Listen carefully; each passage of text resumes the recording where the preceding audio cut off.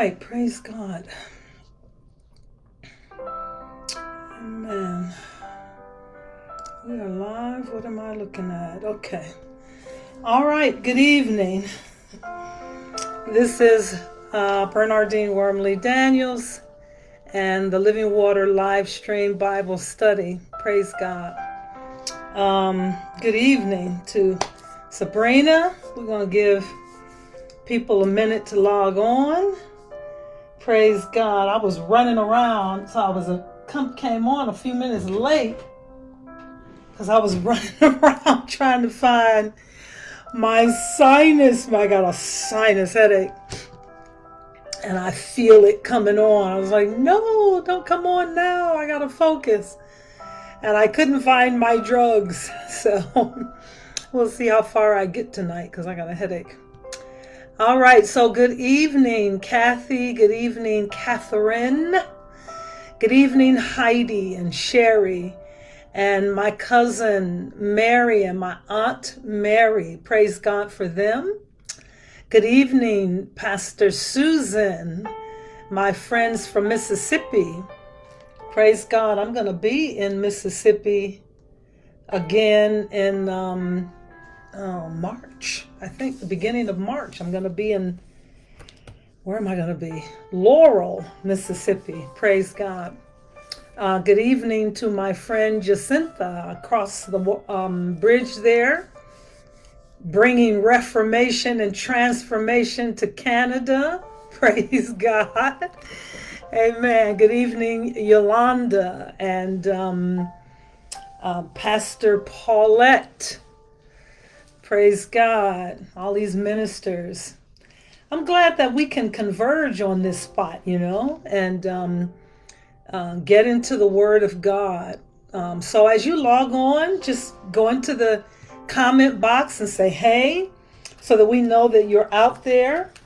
Because um, oftentimes I see the number is higher than the people that are um, logging on and saying something. You know, people don't always say something, but that's okay. Um, all right, let's pray. I don't think I have any announcements. And we're going to jump back into the revelation of Jesus Christ. Um, this is going to be an in depth study. It's going to take us a minute to get through it because we're taking it verse by verse. Good evening, Donna, and uh, my friend Farmer Ransom in uh, Arizona. Margaret, my friend Yuli, praise God, just woke up. All right, let's pray. Father, thank you for your grace, for your great love, for your compassion, for your faithfulness.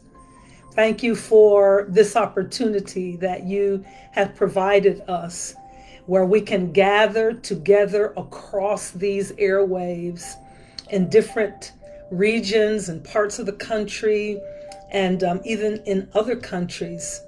Um, but we can come together through this Bible study, break open the bread of life, and feast and feed upon the word of the living God. We know in our hearts that the word is more than a book, the word is a person, Jesus, our Christ. And it is in his name and for his sake that we gather and um, we have an explosive expectancy that you are going to um, be with us, give us fresh revelation.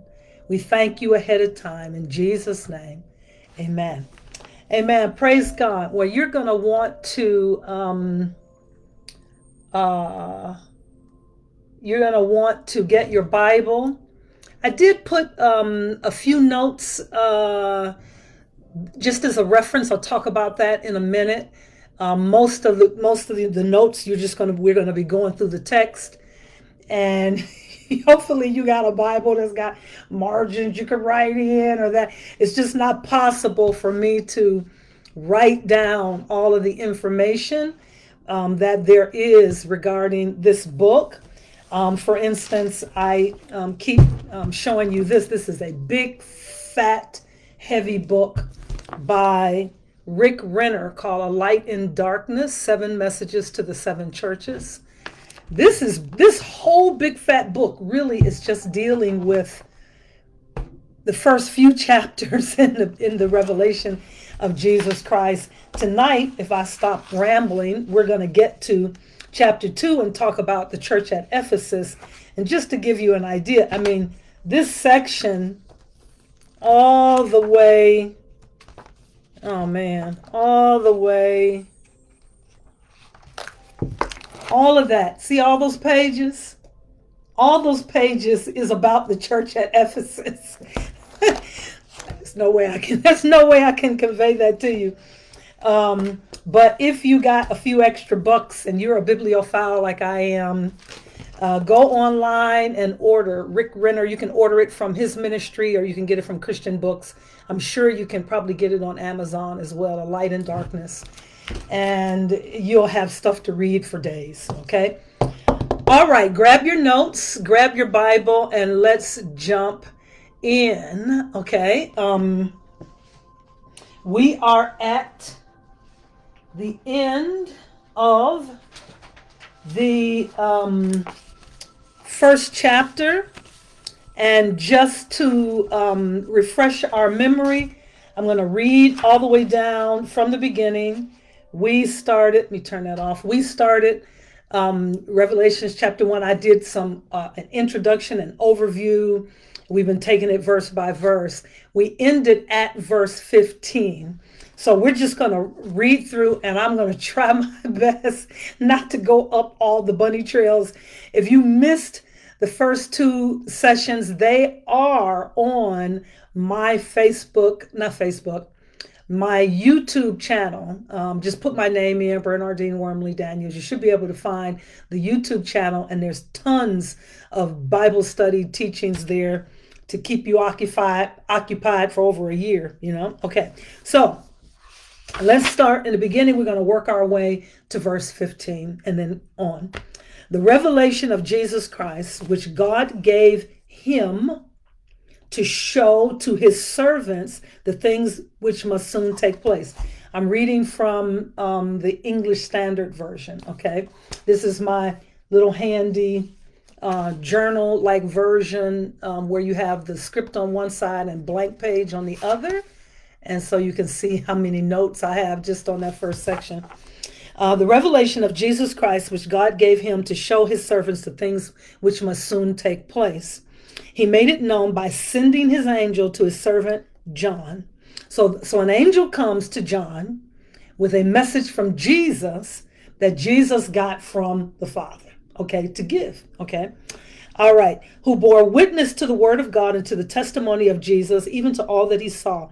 Blessed is the one who reads aloud. That's why we're we're doing that. Who reads aloud, meaning to know again accurately, um, um, and hear, to keep, to guard um, the words of this prophecy. And blessed are those who hear, those who those who understand those who understand and who keep what is written in it, for the time is near. Okay. John, to the seven churches that are in Asia, grace to you and peace from him who is and who was and who is to come. Now, you remember his audience is Jewish primarily. This book is riddled with prophetic um, illustrations and references. So, John is presupposing that his audience knows what's in what they call the Tanakh, which is what we call the Old Testament, the Hebrew scriptures from Genesis through Malachi. He presupposes that you know that, okay? Um, so the who is, who was, who is to come. That's the Yud Hey Vav Hey Yud Hey Vav He, the name of God that Jews don't even pronounce, but we see it in our Bibles translated as Lord. So John is letting them know this message is coming from the Lord, the Lord, Yud Hey Vav He, the Lord God Almighty, okay, who was, who is, who is to come, and from the seven spirits who are before his throne. I don't even have time to go back into that, but that was rich. And from Jesus Christ, the faithful witness, the firstborn of the dead, and the ruler of the kings of the earth. So he do be the chief in charge, okay? To him who loves us and has freed us from our sins, that's a good place to pause and shout. By his blood and made us a kingdom of priests. He made us a kingdom of priests, a kingdom of priests. That means that you and I are called to minister unto the Lord and to one another. Um, priest to his God and Father. To him be glory and dominion forever and ever. Amen. Behold, he is coming with the clouds, and every eye will see him. Those who pierced him and all the tribes of the earth will wail on account of him. Now you know with all the technology we have and you know satellite, you know, you you know, new breaking news alerts on your phone, when he does decide to split the clouds and come, everybody gonna see him. Okay. Um, it'll be, you know, breaking news flashed on the TV. Well, that'd be an interesting day. Those who pierced him and all the tribes of the earth will well on account of him. Even so, Amen. Uh, verse 8 I am the Aleph and the Tav, the Alpha and the Omega.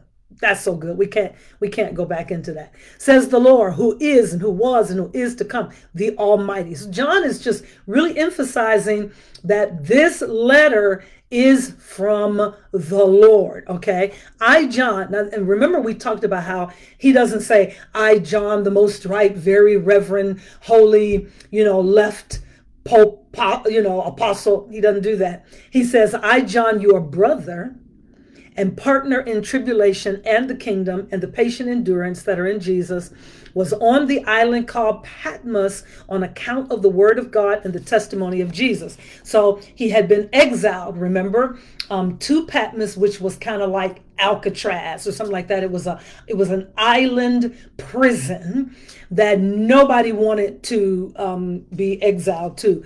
There was not much there. Many people died of starvation and exposure to the elements, you know, that type of thing, um, as well as the harsh treatment. Um, so he had been exiled on account of the word and the testimony of Jesus. And so then, verse 10, remember, he says, I was in the spirit on the Lord's day.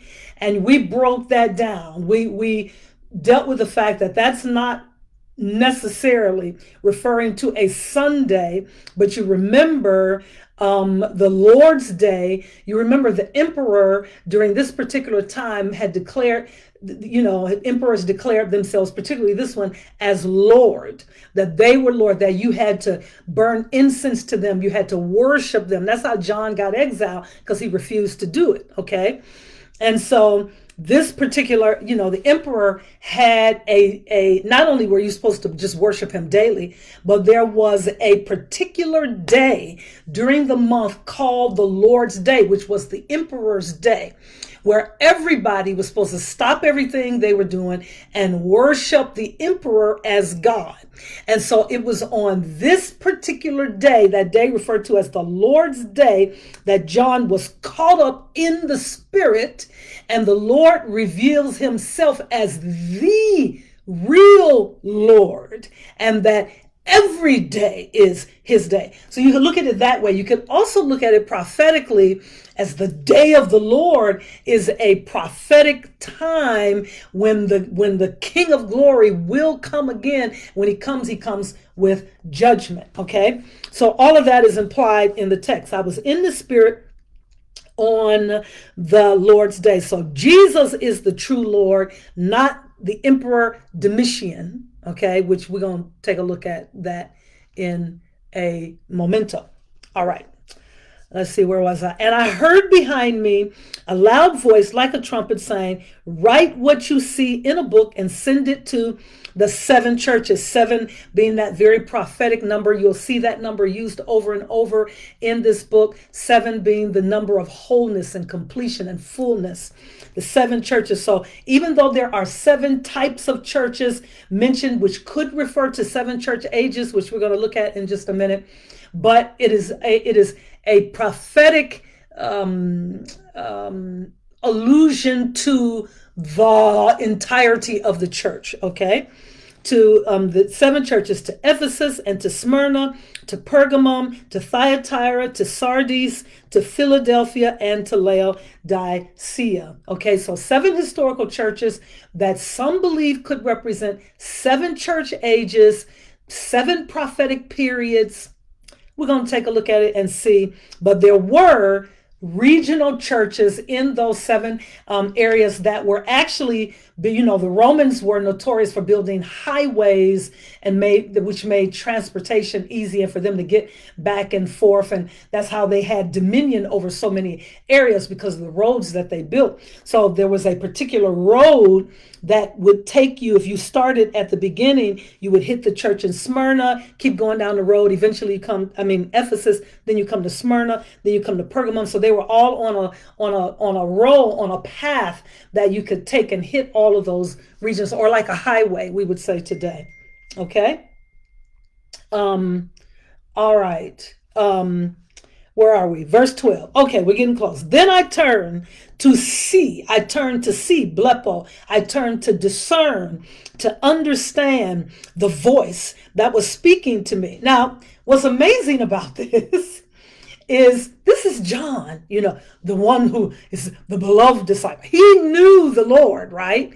But he is encountering him in a way that he has never encountered him before. He knew the historical Jesus, the man, Messiah, um, you know, his rabbi, you know, his friend. But this is the Aleph and the Tav, the Alpha and the, the one whose eyes blaze like fire, you know. So listen, um, he sees him in a different way. So he turns to blepo, not just to see, but to discern and to understand in seeing the voice that was speaking. And in turning, isn't it interesting that the first thing he sees instead of the Lord, he sees the seven golden lampstands, which is representative of the church. All right, and in the midst of the lampstands, he sees the church the lampstands, and in the midst or the middle of the church, the lampstands, one like a son of man, clothed with a long robe with a golden sash. We broke all those pieces down. The long robe, of course, that goes down to, you know, his feet. These are priestly garments, and yet he's got that golden sash not around his belt, but around his chest, representing extreme authority because it's up high and it's not it's not um lined with gold. It is made of pure gold. So it represents, you know, indescribable wealth and prominence and, and authority. Um, the hairs of his head are white like wool. Um, uh, he, he, this is a picture of like the ancient of days. Okay. His eyes were like a flame of fire representing perfect wisdom and discernment. His feet like burnished bronze. And oh, we broke that down before that mixture of bronze and frankincense and just the, the, um, because of the, the words that, um, uh, John used in the Greek, which is a, a hint as to not only the um, the authority and the judgment, but the um, the mercy which on which he stands. Okay, um, his voice was like the roar of many waters. If you've ever been multitudes of, of people, waters usually representing.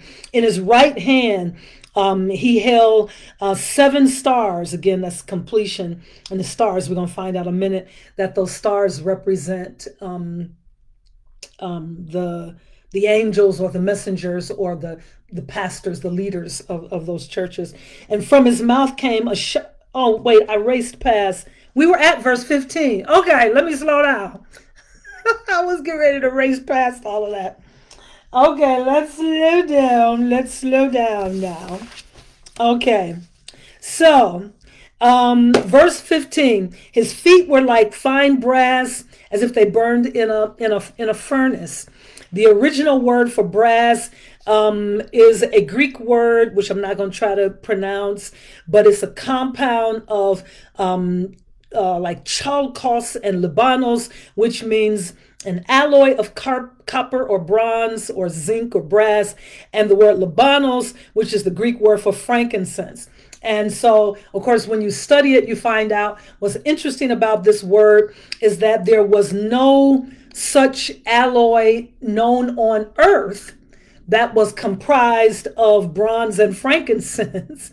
So it was a strange word for John to use. So, but if we remember that Christ first appears as high priest and that the priest used frankincense in their er, in their priestly ministry, then the meaning becomes clear. And I should say, you miss that in the English when you read it in English. It's not until you dig into the original language and begin to break open the treasure that is hidden in the original language that you find these things that this is a reference to um, Christ high priestly ministry. So he's coming with the potential to judge because of the way he's dressed. You can tell that he comes with that type of authority. His feet of judgment, though, that burnished bronze representing that judgment, but they had been bathed in frankincense. So, in other words, Jesus did not want to judge his church but even his judgment was bathed in prayer and in the priestly ministry of intercession. I don't know about you, but I'm glad about that. See, I'm glad about that. So he's not coming to destroy his church, he is coming to correct. Yes, my friend Amy over in um, uh, can Amy could do a whole workshop. We could pause right here, have her come in and talk forever just about frankincense and the medicinal um, the properties and, and, and what frankincense is used for. And that's what his feet are bathed in. That's real prophetic. You'll have to look at that uh, amy and give me some insight um, into that.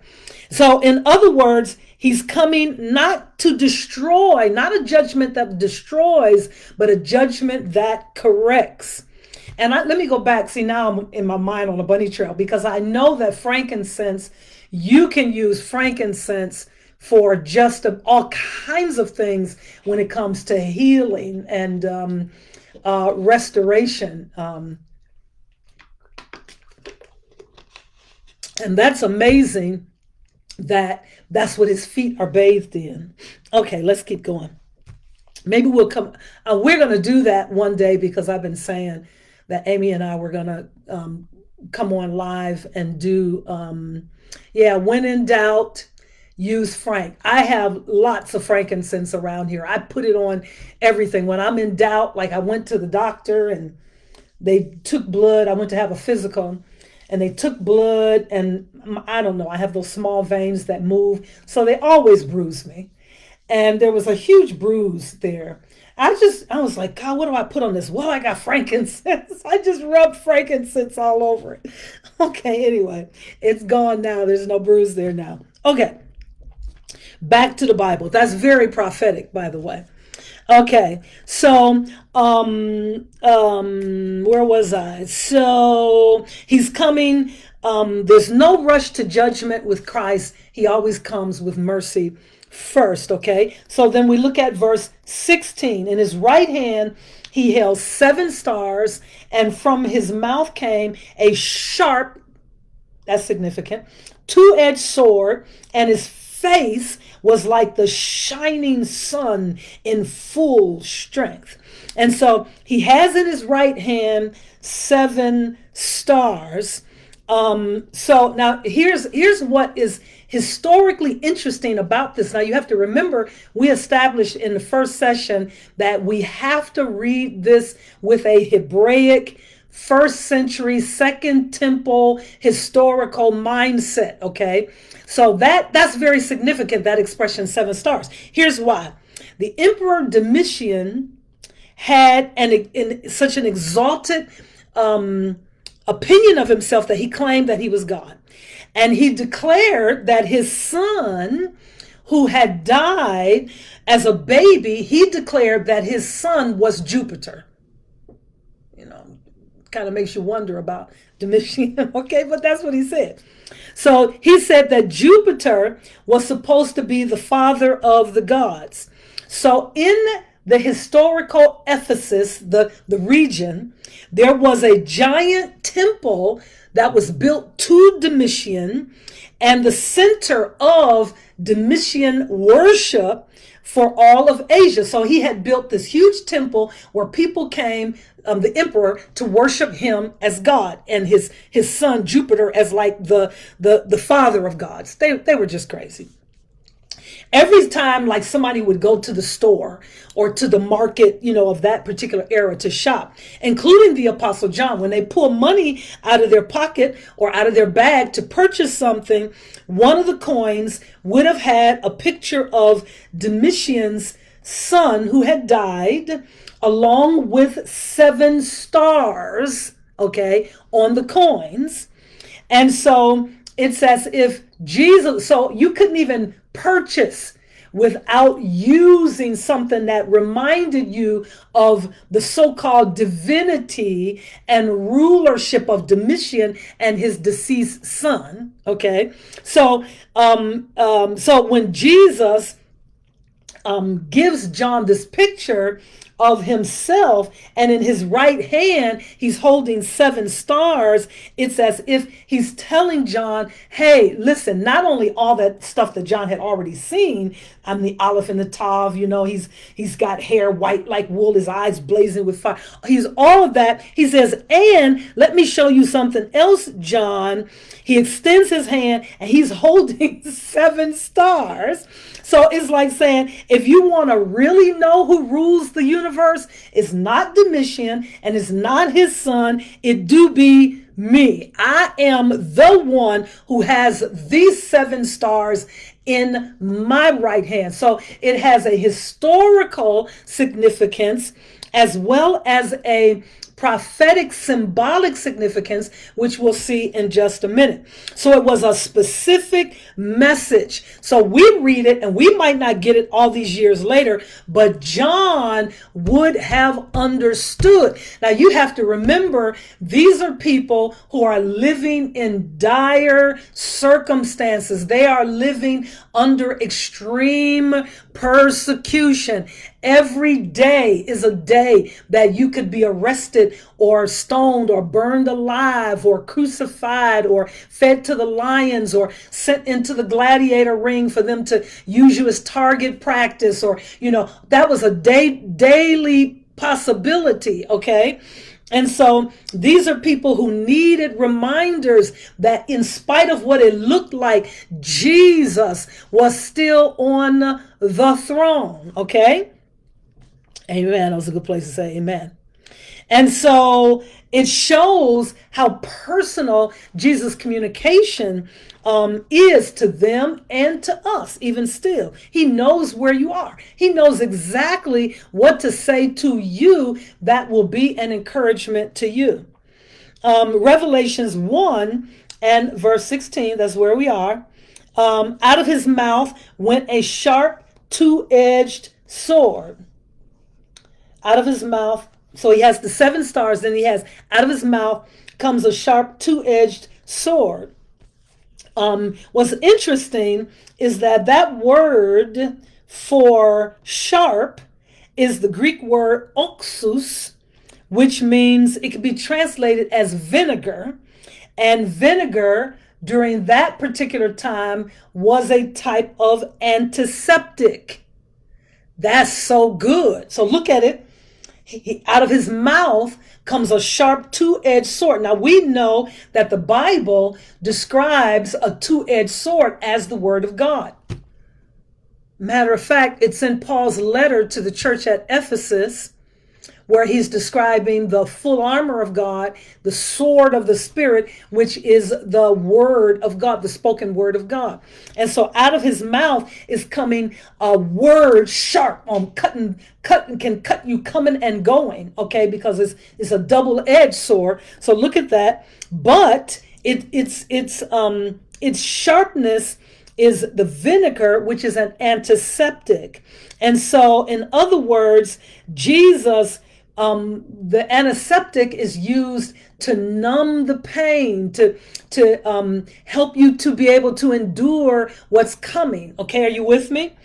And so um, it's like a medication so that the procedure that you need to save your life can occur. Oh, like, thank you, Lord. Like, I went to the dentist um, lately, I was eating something, a piece of caramel or something, that thick, thick, thick caramel. Just bit down on it and just completely broke a tooth and had to go to a dentist. And so I had to either, you can either get a root canal or we can give you an implant. I, I said, I'll do the implant.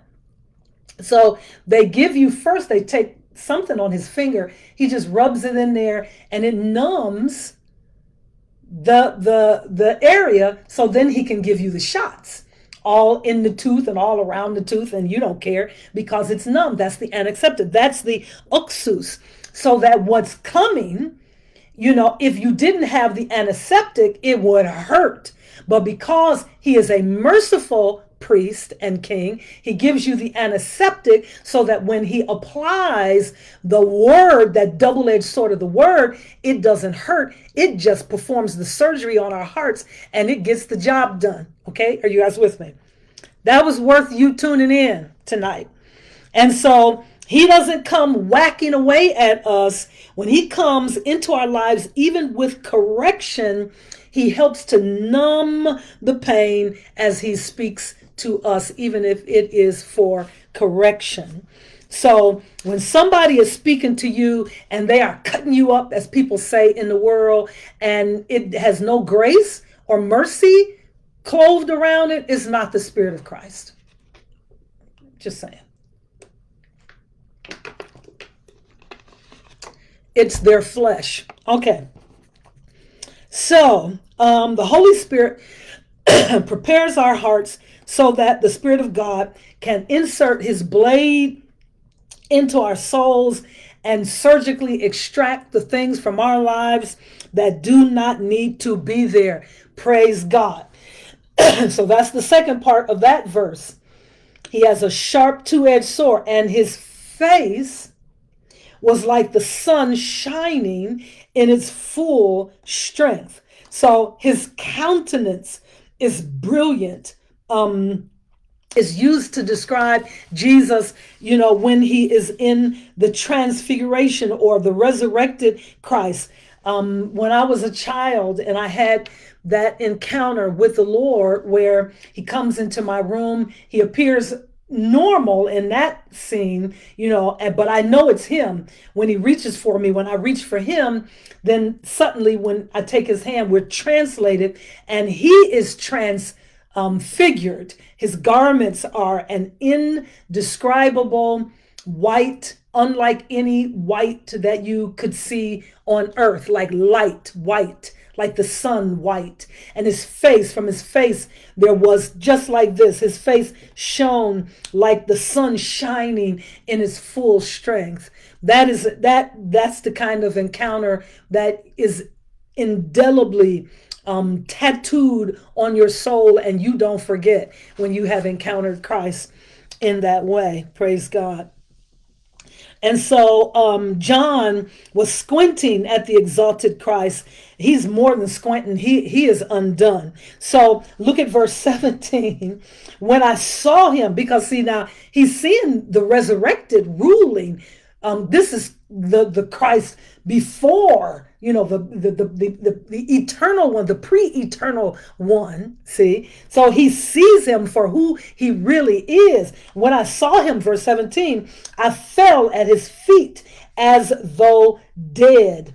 Um, i fell at his feet as though dead. Um, oh where did i write the oh that word um, uh, for fell, it, it means that he collapsed, like all the strength, all, all the all the strength, you know. Oh man, Lord, come like that, you know, move like that in our churches, you know, um, touch people in our services like that, you know, so that even the most arrogant, you know, and prideful will find themselves undone, no strength left in them, and they collapse without anybody touching them so no man can take the glory. Oh, look how the anointing flows through me. No, Lord, just fall on people. you know, so that they know they have encountered the living Christ. So John collapsed, he fell. That word in the Greek means he collapsed. All strength left him as though dead like a corpse. It's like John fainted. Have you ever you have you ever been um scrolling on Facebook or on TikTok or whatever it is and you see those videos of the people strapped into the the seat comes over you like from the top they're in that slingshot ride who would who would get on that ride bernardine would not get on. bernardine would hold the bags of the people who go to get on that ride I'm not, you couldn't pay me enough to get on that ride. So people get on the ride, and of course, they have a camera on the ride somewhere, and people are usually joking or really, you know, like they're not scared. And they let that thing go. And I have seen video after video after video of people fainting they faint for a few seconds and then when they wake up and realize they still on that thing they scream and holler and they they faint again. Okay, seriously, that was John. John was undone. Okay. Oh man, Lord, you know, come in our services like that. All right, verse 17. He fell at his feet, at his feet, you know, like that's the place of submission and humility. It's also the place of discipleship. Disciples sat at the feet of their rabbi. Um, um, he doesn't sit, he just falls down like a dead man. but Jesus, what does he do? He lays his right hand, his right hand on him, saying, Fear not. Now, this is significant too. Wait one second. Let me find those notes. Um, he lays his right hand, fear not. Um, and what's interesting is that when you look at this in the original language, um, he laid his right hand on me, saying, it's in a continuous, a continuous tense. So it's not that he said it, it's like he's he's saying it and it echoes like through eternity. So he is continually saying to us, fear not. Don't be afraid. Don't be afraid to come closer. Don't be afraid to come deeper into, um, don't be afraid to come into the throne room. Don't be afraid to lay your life down from fear not. Don't be afraid of whatever your circumstances are. I got you. My even if I come with burnished bronze feet, they are bathed in frankincense. fear not. It's a continuous fear not. It applies even for um, today. Praise God. So he says, Fear not. And he continues to say it and continues to say it. It echoes through eternity and it applies even to us today. And look at the next the next expression. Um, fear not. He says, this is verse 17. I am the first and the last. There's I'm the Aleph and the Tav is what he would have said in Hebrew.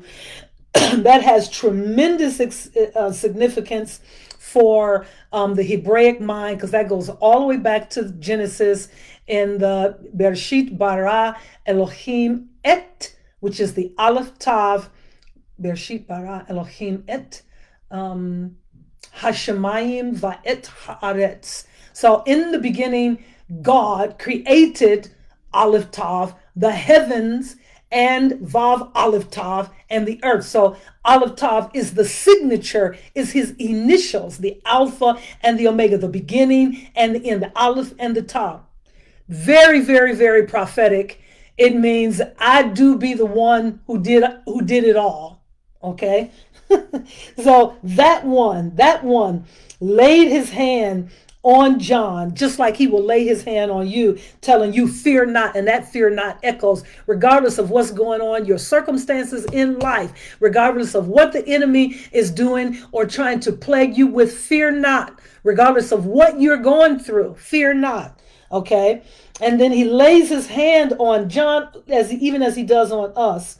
I'm the first in the lab. I am the living one the living one. I do be, he's the only one that can make that, that proclamation. I am he that liveth and was dead. In other words, I'm the living one. The ESV translates it very good out of the Greek, meaning the living one. I am perpetually alive. I'm perpetually alive. Death was a nanosecond in my um, journey or my existence because he's an eternal being. He's the the beginning and the end. You know, so um, I am the he that perpetually lives. Okay, um, so the crucifixion was powerful. The death burial was like a nanosecond that accomplished much. Okay, um, but he's alive forevermore. All right. So he's just reminding us. And behold, I, oh, matter of fact, he says it in the verse I'm the living one, I died. And behold, um, that word, behold, um, is a word that is difficult. It's, it's almost untranslatable in the, in the Hebrew and in the English. Um, it's a word that carries a lot of emotion. It's like saying, wow, like, like, wow, like, you know, um, just tremendous excitement, you know, and behold, you know, listen. So, in other words, I'm the eternally alive when I died, and wow, you know, I am alive forevermore. you know, take that, devil. Essentially, there's there's excitement in the term. Behold, look, look, see, I'm alive forevermore. Okay, it's just good. And, and he says it several times in the New Testament. Everywhere you see that, behold, there is excitement behind whatever is getting ready to follow it. Okay? He says, Behold, not only am I alive, but look, I have the keys of death and Hades. I have the keys. I have the authority. I have um, uh, the the access. I can open and no man can shut. I can shut and no man can open. I have the keys. That's so good. He has the keys to death and Hades. And so, look at verse 19. Write therefore the things that you have seen. That word see meaning that you have perceived and understood. Write what you what I've showed you, what I've given you insight into. Okay and um, those that are and those that are to take place. So write the things that you have seen, the things that are. So as we read, this book is going to refer to things that are, and it's also going to refer to some things that are going to take place. So it is a historical and yet prophetic book all at the same time. Okay.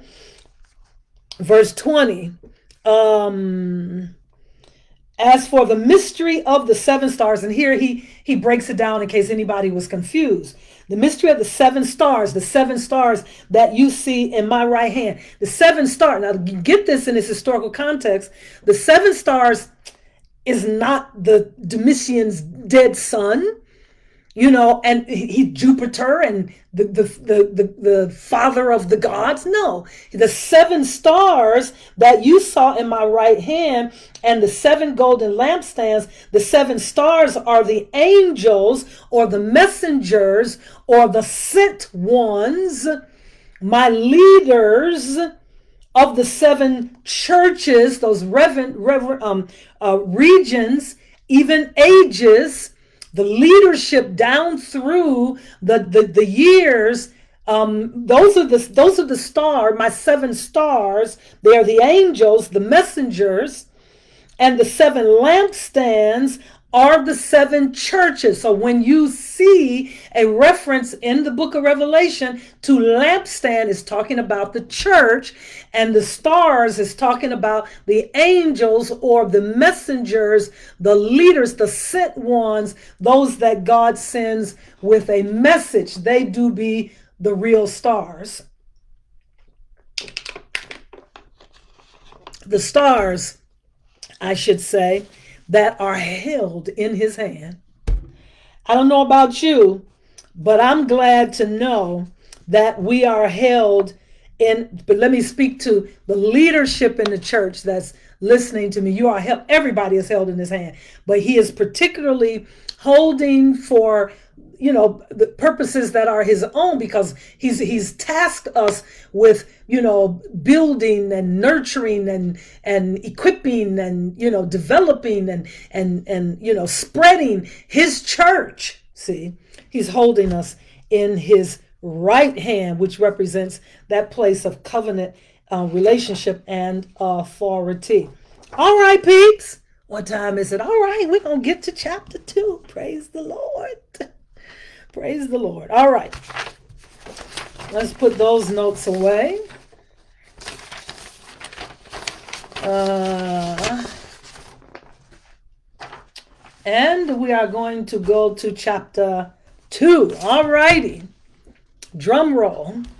Okay, so before we get into this, just let me take 10 minutes right here and uh, look at the notes that I, um, I posted on my page it says uh, the seven church ages. So there are, you remember in the introduction, I talked about different ways that some people interpret the book of Revelation.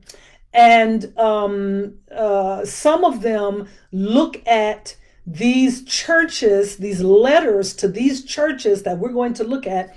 There are some historians who see these as seven specific church ages. Okay.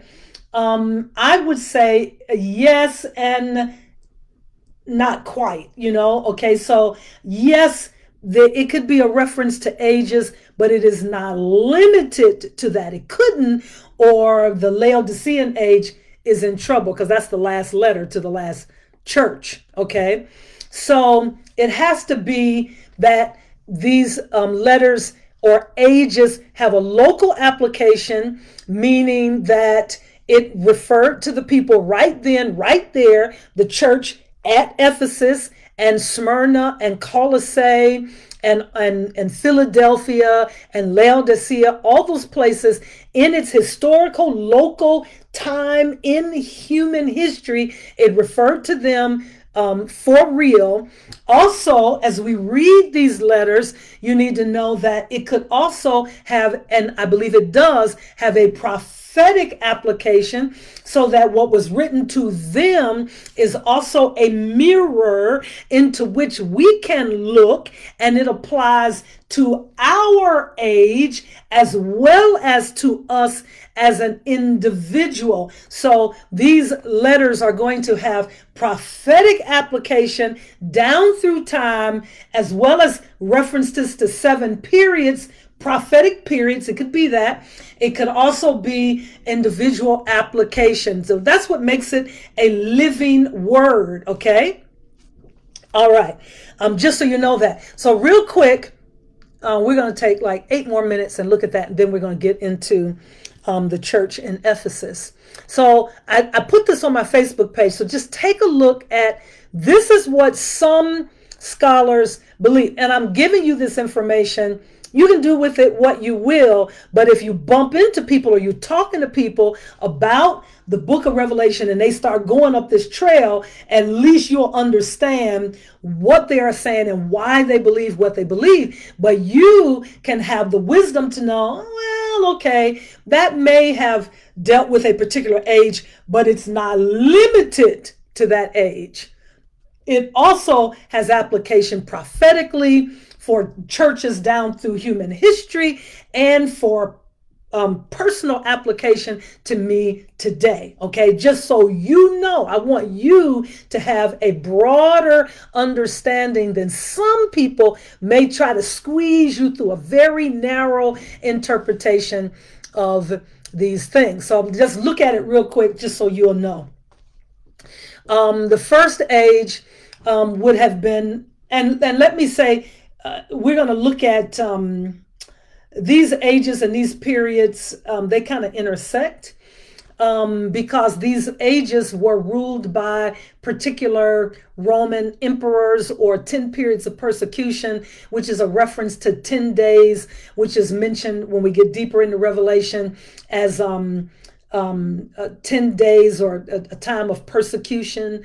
Um, and so there are some that believe that those are 10 periods of persecution or tribulation, and they pick 10 key emperors who were notorious for being horrible um, um, leaders who did ma- massive damage to the church.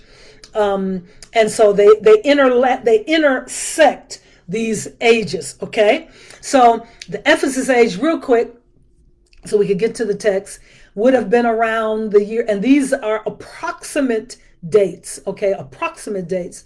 The Ephesus age um, around uh, AD 33 to AD 200. So if you look over at the emperor's column, you'll see that in that time period, you were dealing with Nero, who was crazy as all get out um, burning people, make, making them, turning them into candle. This stuff will help these letters to make more sense to you because this is what the church was dealing with um, during this time period.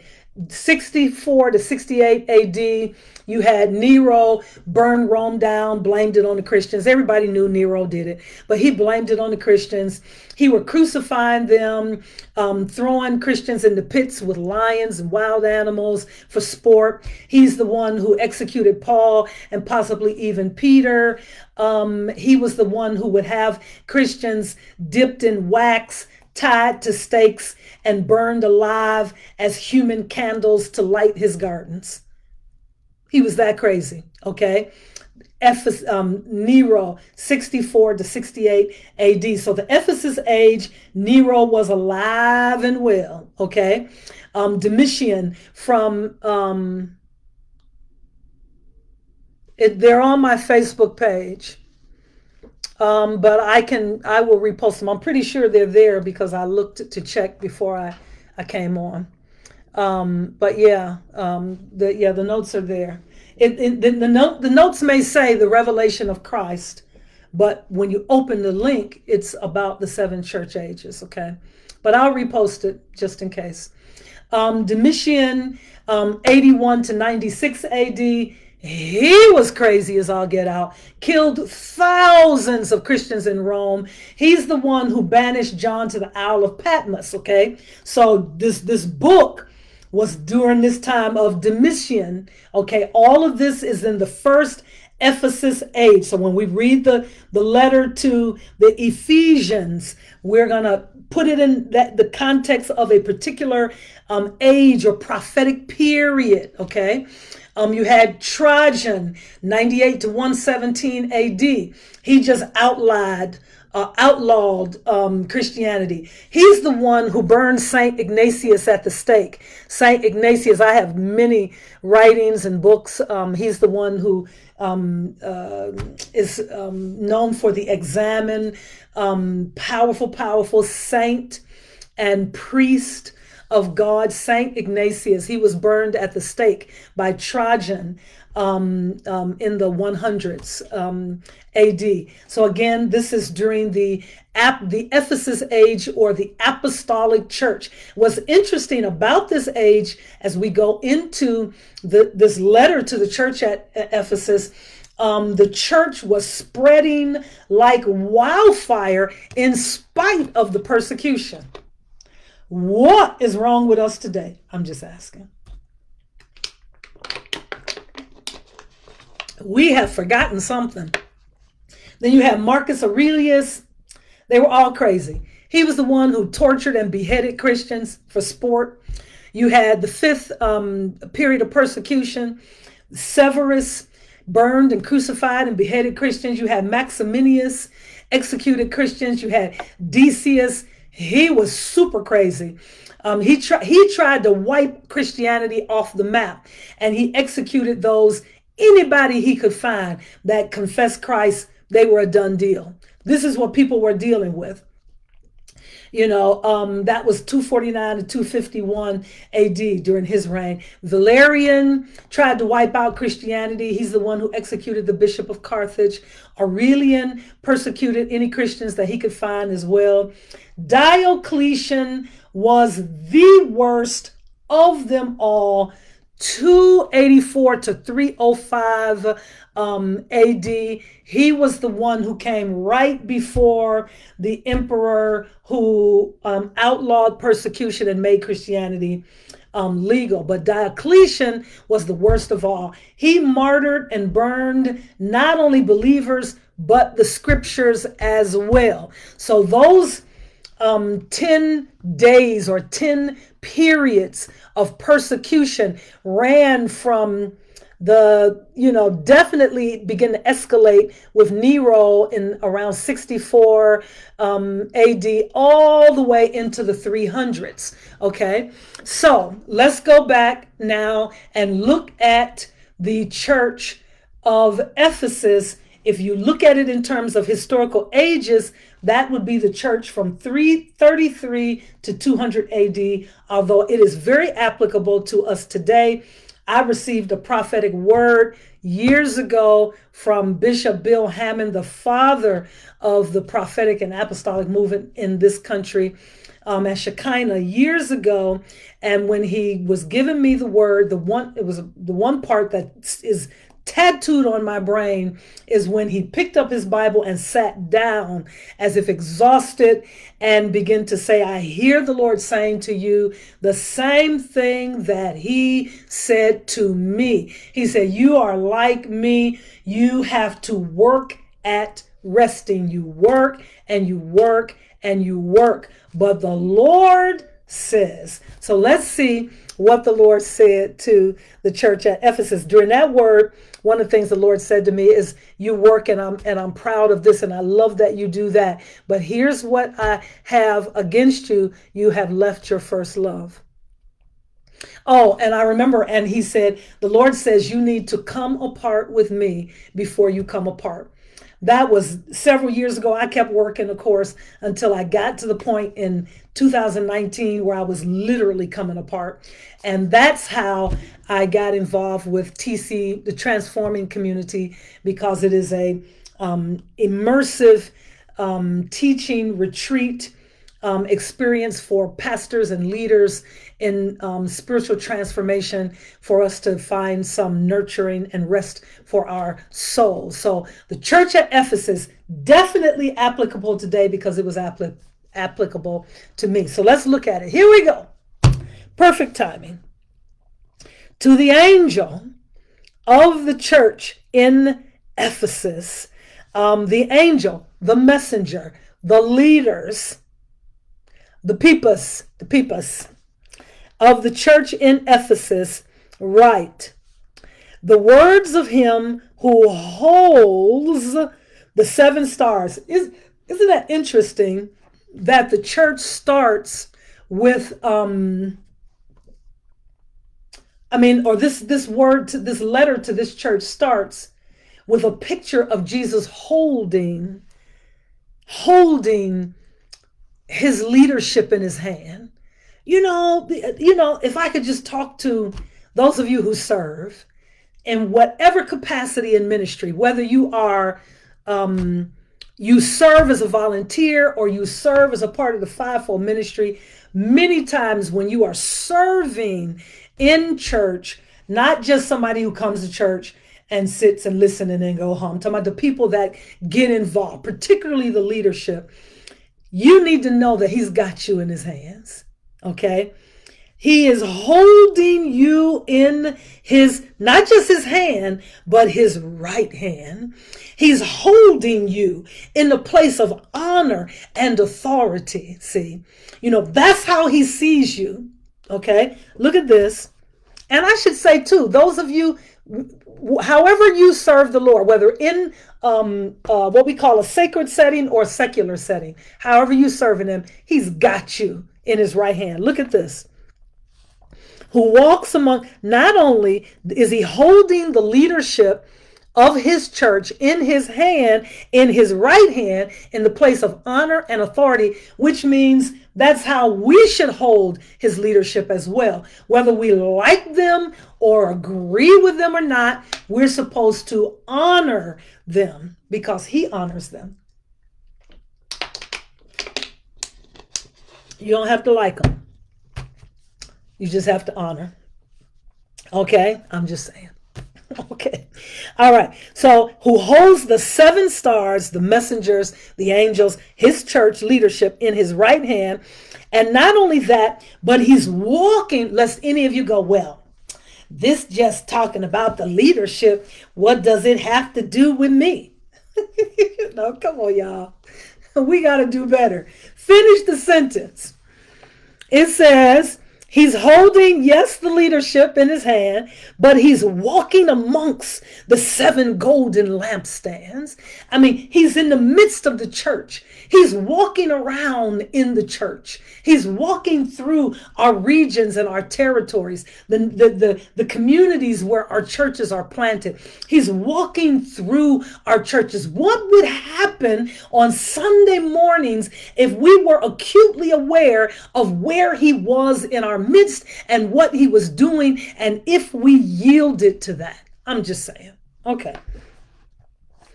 To the angel of the church in Ephesus, write the words of him who holds, he's got us in his right hand, the place of honor and authority. He's walking among the seven golden lampstands. He is walking in the church. And let me let me go back.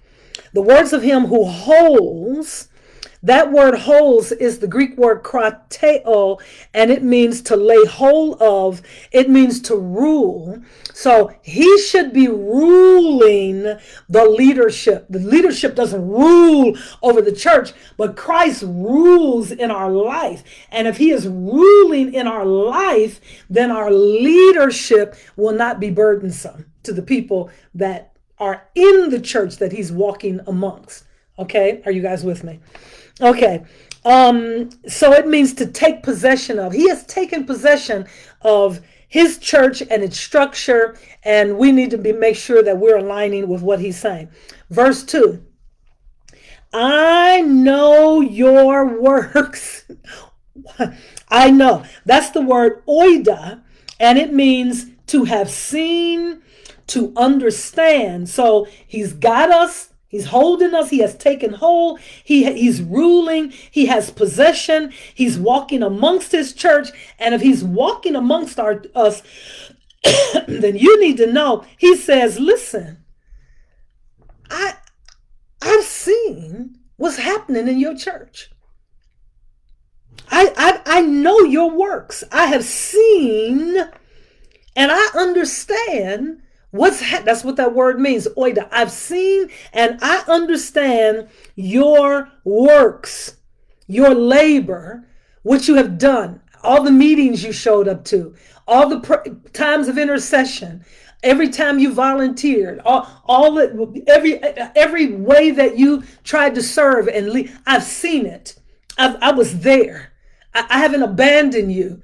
And, and and again, let's put this in context this is a church that is persecuted. These, these people are, are under persecution. So he's saying, regardless of what's going on, I'm holding you. I see you. I understand. I know your works, your works and your toil. And see that word in the Greek is the word kopos. It means intense labor. Not, and it's not just talking about, um, like if you know spring oh well let's put it in context now because we got a winter storm coming. Some of us may get 12 or more inches of snow. So i live on a corner unit. So that means i have to shovel from the street to my porch across the front of my house all the way up the side of my house past the backyard to the garage my driveway if I want to get out. That's a that is labor. But this isn't just labor that's exhausting. This is intense labor with trouble. That word means you're working and while you're working like maybe the the snowblower runs out of gas and you got to go to the gas station and you can't get to the gas station because you snowed in. So you got to trudge by you know, that kind of toil and trouble. You know, in this context, these people were dealing with those crazy emperors that we were, that I was just, namely Domitian, because Domitian was the emperor, I think, no, no, no, no, no, That's wrong. Not Domitian. Um, yeah, Domitian. He's the one who banished John to the Isle of Patmos, and he was batty as all get out. So he's the one that they, they would have been dealing with. Okay. So I know your works and your toil, your your your intense labor with trouble God sees you in that situation. He knows that it hasn't been easy. He knows that you didn't just have a hard time, but you had a hard time with trouble. That you've been feeling like somebody opened one of the uh, lower regions of hell, a gate, and let uh, you know a whole legion of demons out with a, a map with your address and your house circled with a line through it, and they've been following you to work and all that kind of stuff. He knows. He sees it. Your toil and look at this you, you in the midst of the toil, in, in the midst of the work, in the midst of the difficulty, you have patiently endured. Man, you you have patiently endured. That is the word hupomone. Sometimes you'll see it as hupomeno, same root structure. That is one of my most favorite words in all the New Testament. Hupomeno, because the Lord gave me that word in a dream. He just it just looped. I heard it over and over and over. It repeated. When I woke up, I was like, what in the world does that mean? Had to look it up. Sure enough, New Testament Greek, and it may it mean it's translated as endurance, steadfast. It's the type of endurance that is steadfast in its faith. It is the characteristic of a person who is not swerved from their deliberate purpose and their loyalty to faith and piety, even in the midst of trials and sufferings regardless of what they're going through, even if they are um, in the midst of a group of people that they are about to push into the Colosseum in, in the middle of a ring of hungry lions, they hupo meno. They begin to praise God, even in the midst of it. What is wrong with us? We need to get our act. We need to get, okay. Maybe it was for me. I need to get my act together. We need to get our act together. Okay, I'm just saying. Hupomeno, patiently and steadfastly endure. Chief, cheerful, hopeful endurance. Hupomeno. It is a fortitude that no situation can defeat. The enemy throw everything he got at you and you will still worship God in the midst of it. That's hupomeno. That is what Jesus is saying to this church. They they were enduring they were dealing with all that Domitian, and not just Domitian, but even the Jewish um, nation that was pouring out against them because they had become a part of that sect that followed Yeshua as Messiah. They were being persecuted, coming and going. Okay. All right. So you get it. I have a whole class that I do just on that one word hupo monet. That's what this is. I know your works. I know that you have gone through intense labor with lots of trouble, and in the midst of it, you have patiently endured. And I have seen, I know, I've seen, I understand how you cannot bear in the in, with those who are evil. You you you cannot bear. That means um that that word bear it means um, that you have no tolerance. That you you just don't have any tolerance for evil. That word evil is the greek word kakos.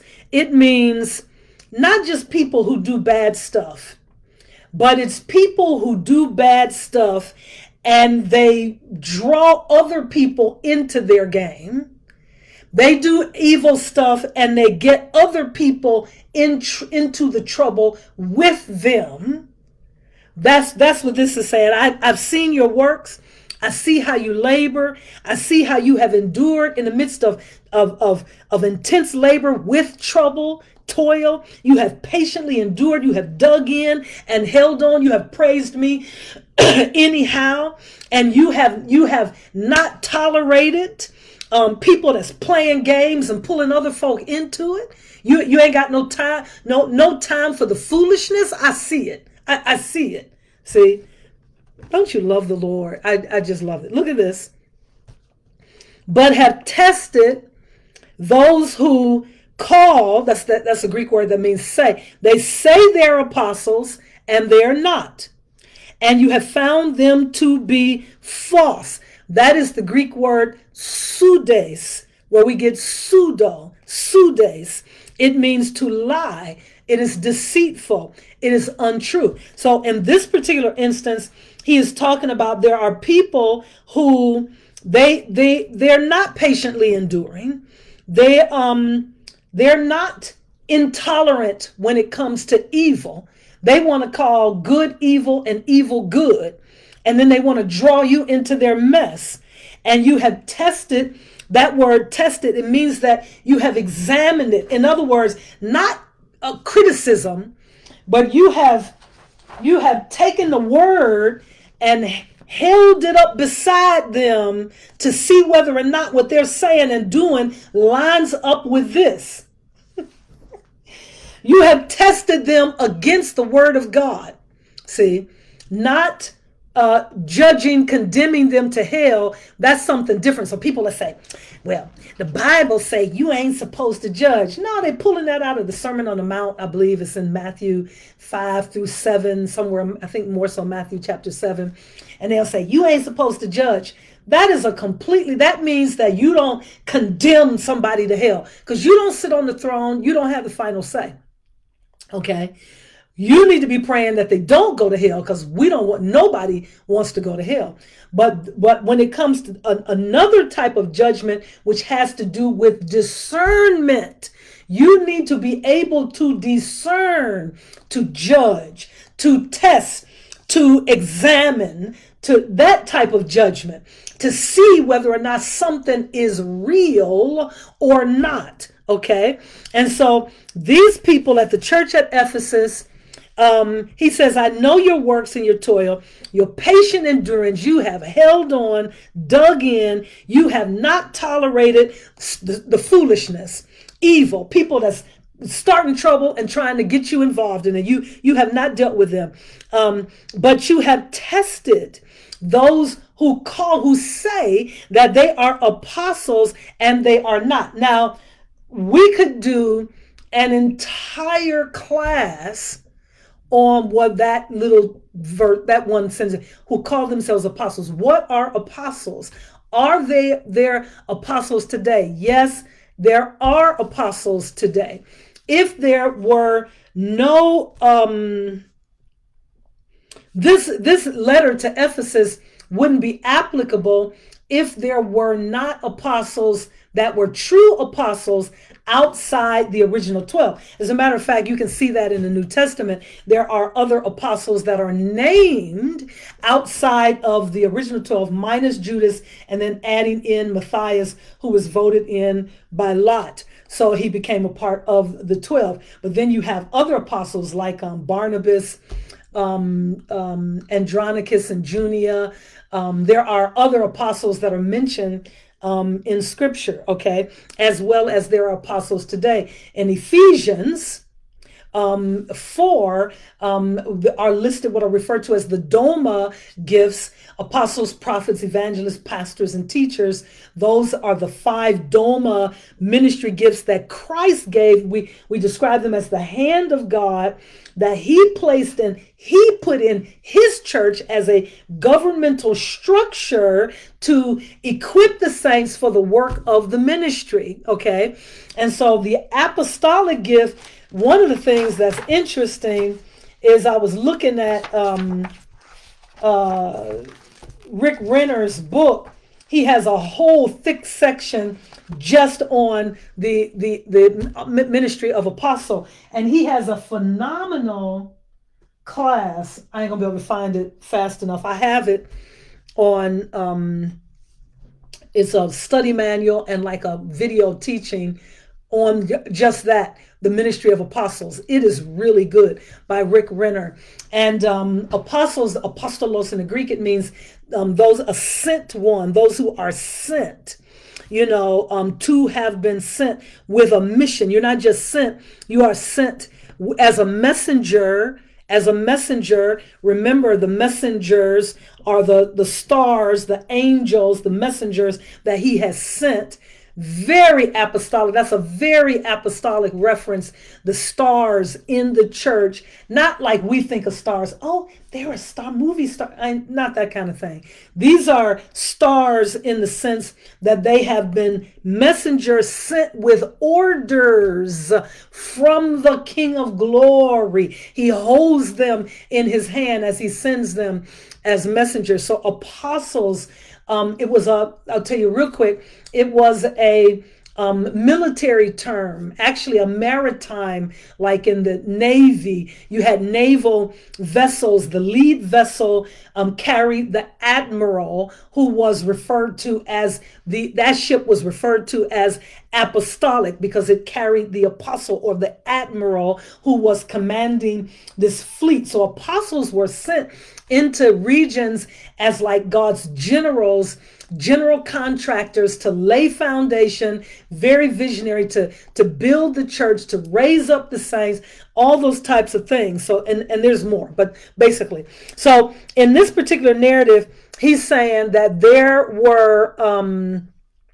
um, those who were running around just like today you have people that are, they run around they say they're apostles but when you when you line them up uh, with the word of god um, they don't meet the criteria i had somebody say to me one time well you couldn't possibly be an apostle number one they don't think there were any women apostles but i beg to differ there are women um, that are named as leaders and as an apostle in um, the New Testament, and, and you show it to them and they still just don't want to see it. They close their mind. Um, but they said, in order to be an apostle, you have to have seen Christ. They go to the book of Acts when they were choosing the one to replace Judas. And they said he had to be somebody who had walked among them. So he had to be a disciple who had seen the resurrected Christ. You haven't seen It's like, oh, well, I've seen him. He came and he, he walked into my room. I had a whole encounter with him. See, and then people shut up. They don't know what to do with that. So if that's a criteria, yeah, I can check that one off. Okay. All right. Um, let's keep going. So that you found that they were false. They were pseudo. All right. I know you're patient, enduring. You're enduring patiently. That's that hupomeno again. And bearing up um, for uh, my name's sake. Um, he said, and you have not grown weary. In other words, they have they have carried the burden. They, they have endured in persecution. They have endured with crazy leaders in the church. you know, um, pseudo apostolos. Um, they have dealt with, you know, saints that don't have any perseverance. You know, um, difficulty comes and they jump ship and they run in the opposite direction. He says, I know that you are enduring patiently and you are bearing up for my name's sake, and you have not grown weary. See, you're not, that word for weary means you have the, the, the toil, the difficulty, the labor with trouble that even produces grief. You have, you have carried it.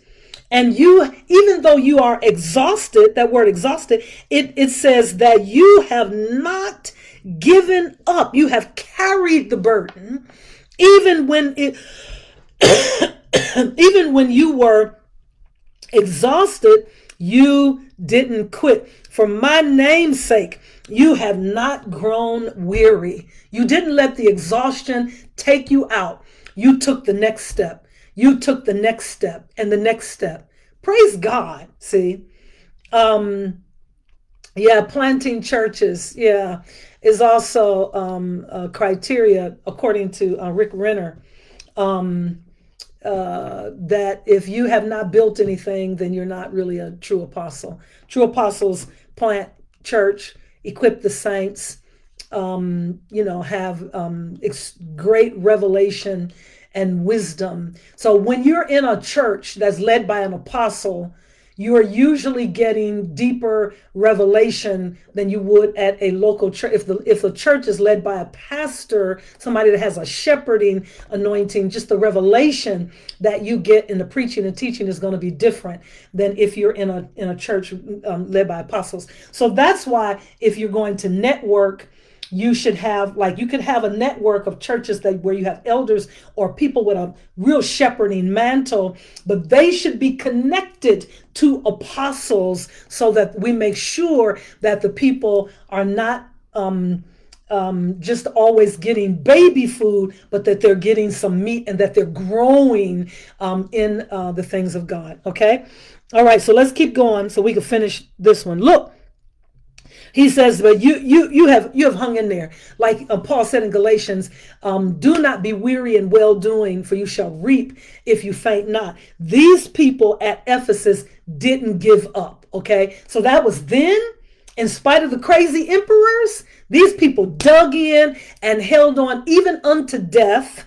Yes, they didn't abandon the faith. They didn't grow weary. And then you get all of a sudden the brakes hit. Here comes the sword um, with the um, anesthesia, the antiseptic, and the um, and here comes the the burnished bronze feet um, clothed in frankincense. here comes right here, verse four. But I have this against you: you have abandoned the love that you had abandoned. You know what's interesting? Where does the time? Go? Oh, we started late. We started at about four or five minutes after. So I'm gonna go to about 8:35. Okay, you're gonna have to give me five extra minutes.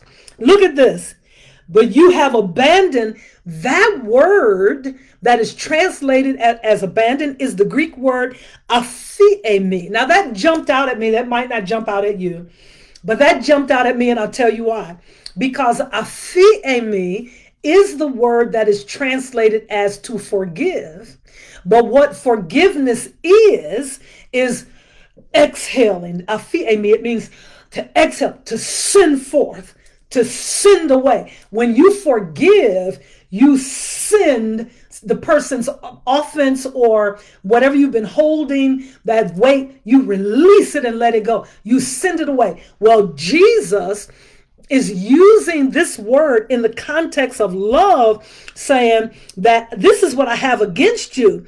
You have sent away, you have forsaken somewhere, you let go your the love you had at first.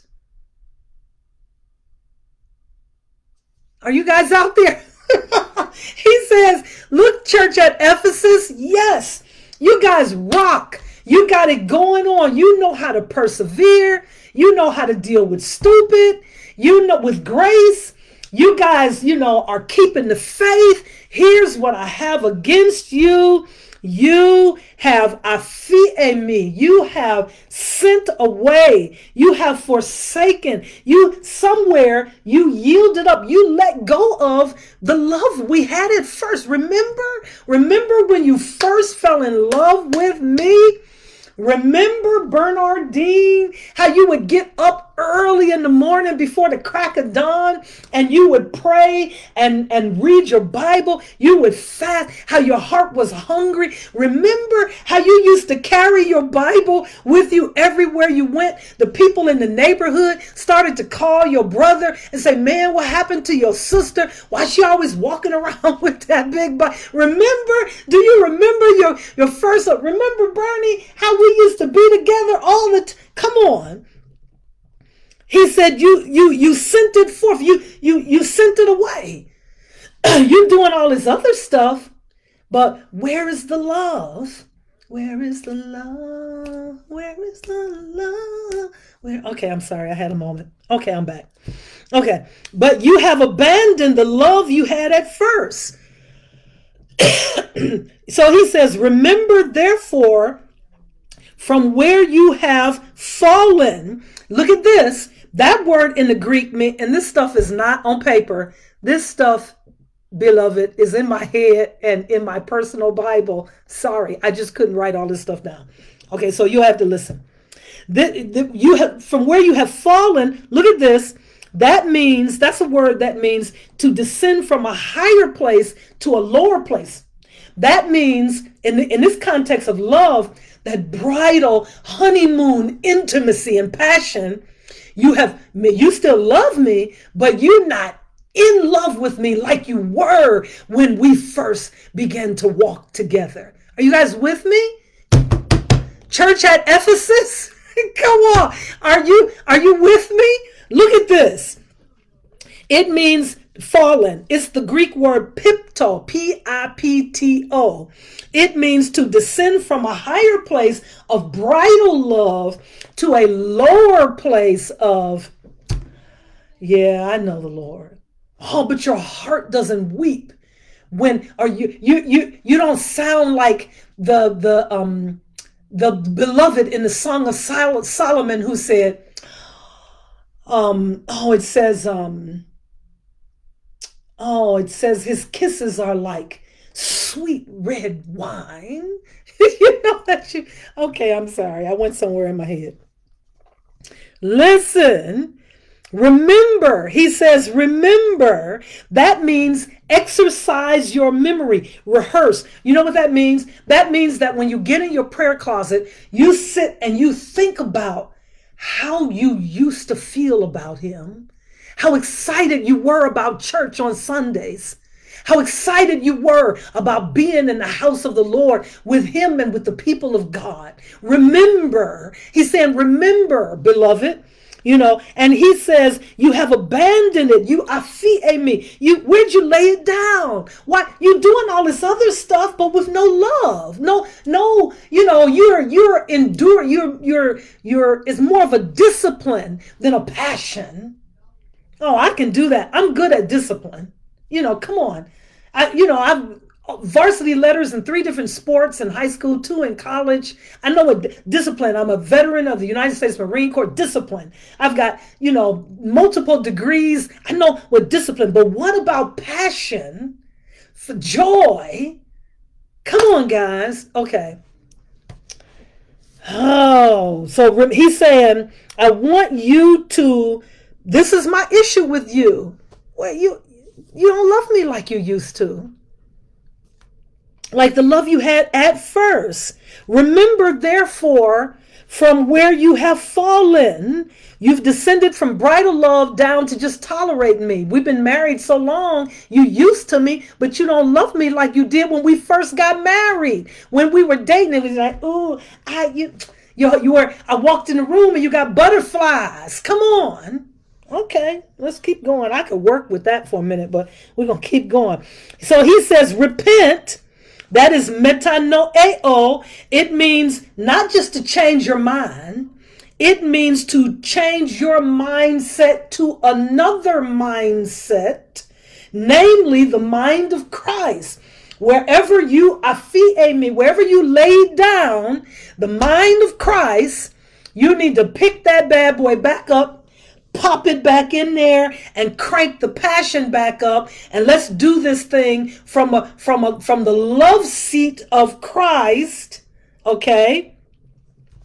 All right remember from where you have fallen and do the works you did at first whatever you was doing when you first fell in love with him that's what you need to be doing now.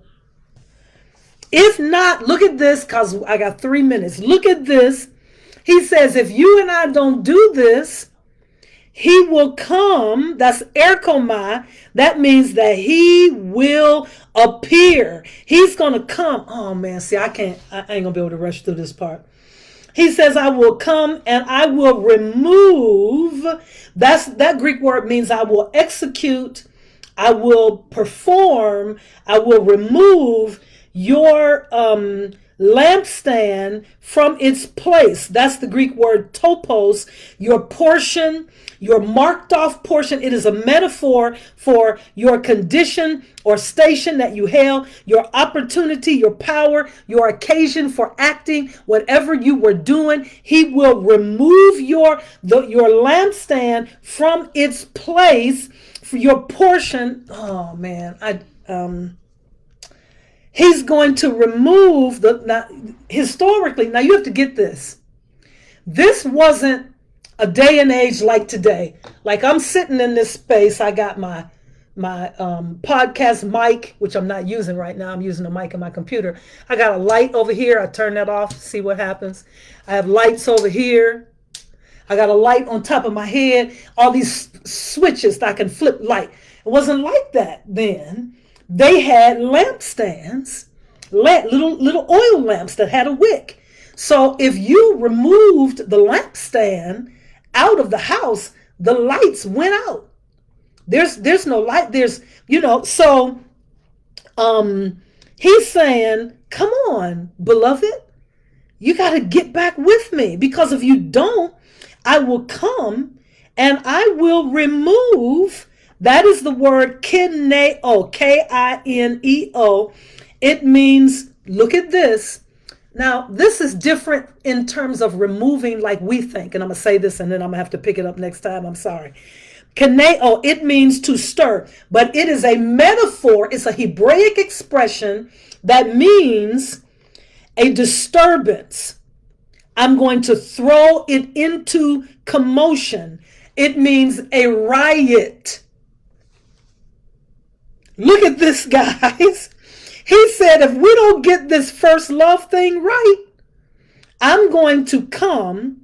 I, I will come into your midst, and in his coming, you know, he will start, remove, he's going to throw into commotion, he will start a disturbance that will cause a shifting in our place, in our portion, in our condition, in our opportunity and occasion for acting. That thing you've been doing that you were serving in, it won't feel as good anymore. Oh man, that's something that maybe it's just a word for me. Okay. Just think about it. He says, I will start a riot in the place where the anointing used to flow. And suddenly, what was comfortable will not be comfortable. It'll be shaken unless you repent. Let's stop right there because I'm out of time. So remind me, I was on repent. we'll pick it up and then we'll go into the church at Smyrna. And then we'll look also at Ephesus from uh, the perspective of a love letter from the bride to his bridegroom, from the bridegroom, I'm sorry, a letter from the bridegroom to his bride whose intimacy he misses. Okay. Listen, guys, I'm out of time. You have been studying the Revelation of Christ Living Water live stream Bible study with Bernardine Wormley Daniels, Soterios Ministries Incorporated. It's always my pleasure to be here with you. Um, I will see you next week, same time. Be careful tomorrow. Snowstorm coming. I hope you can work from home and you're not out on the streets. Um, if this has been a blessing to you, you can um, sow into Soterios through Cash App is dollar sign Dr. Bernie SMI. It goes straight to Soterios Ministries. Also, paypal.me forward slash Soterios Ministries. Or you can go to my app, click on the give button. You can give that way. That's actually the best way to do it. And um, God will bless you. We need your support so we can keep doing what we're doing. I'll put that information in the in the um, comments um, so you can see it at your leisure. See you next time, people. Keep reading, keep praying, and um, turn, ask the Holy Spirit. Let's do that in conclusion. Lord, light a fire in our hearts and ignite a holy passion once again that we might return to bridal love, first love, the love we had for you in the beginning. We pray in Jesus' name. Amen. God bless you.